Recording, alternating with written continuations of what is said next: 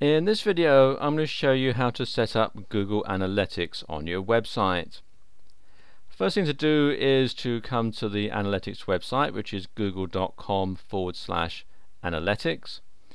And then if you don't already have a Google Analytics account you'll need to sign up for one by clicking on the link here that says sign up now.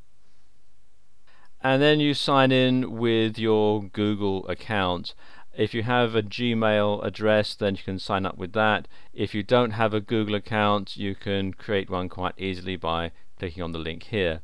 I have a Gmail account, so I'm going to sign in with it. And then click on sign in. And then click on the button here that says sign up. It takes you to this page. So what you need to do is import your website's URL, the URL of the website that you want to track. So I'm just going to put it in here. Then you need to give it an account name. Normally it will automatically put over the URL that you want to track, but you can change it if you want. So let's say I want to drop the www on the uh, account name or just call it another company. I can do it just by altering it like that. Then you need to input your time zone, country or territory it defaults to the United States because that's where Google is based but I'm based in the UK so I'm going to have the United Kingdom.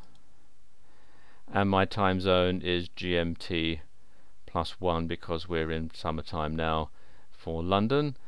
And then click on continue. Then they want your first name and last name.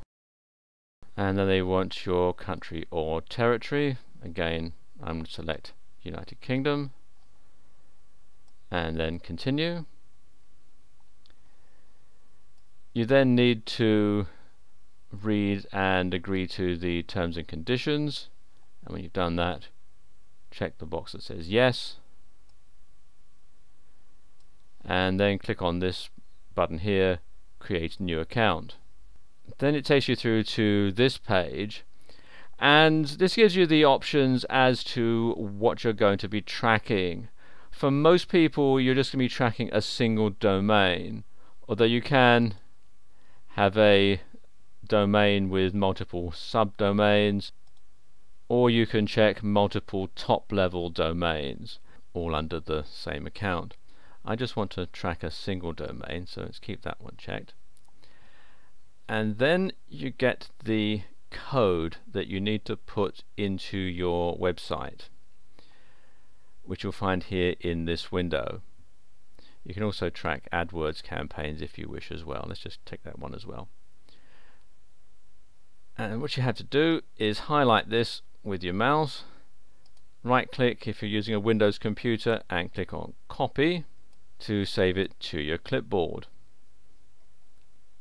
Then you want to open the web page that you're going to track. You will want to do this for every page that's going to be on the domain. And you want to access the HTML code, so you want to open it in a text editor like Notepad. And then just make a space for it immediately above the end head tag here and then paste that in and there we go and then save it.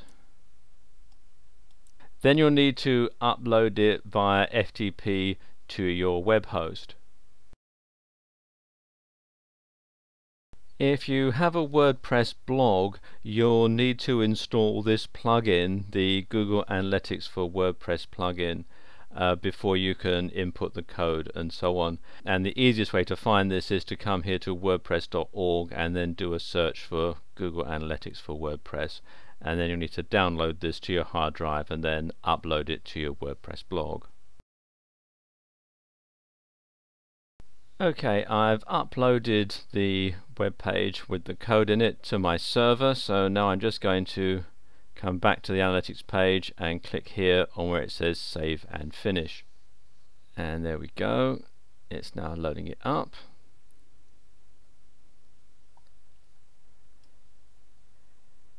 And you can see here that because it's just newly uploaded uh, they haven't got the tracking set up yet it can take a little while for the Google Spider to go to the account and log that it is now being tracked. But when it is, you'll start to get data about where the visitors to your site come from, um, what pages they visit on your site, how long they stay on your site, and a whole lot of very useful information all about your website. And the best thing about Google Analytics is, of course, that it is completely free.